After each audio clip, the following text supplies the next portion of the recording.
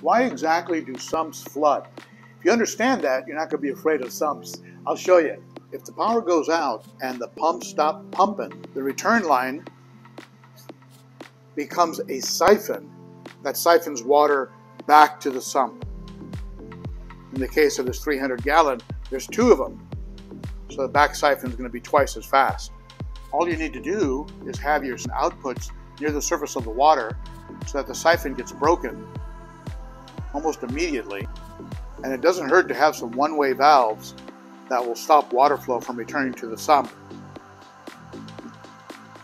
After initially setting up the sump and putting in those safeguards, you also shut everything off and test the water level of your sump. In other words, how much water is going to come back uh, before the flow stops so you know exactly at what level to run your sump.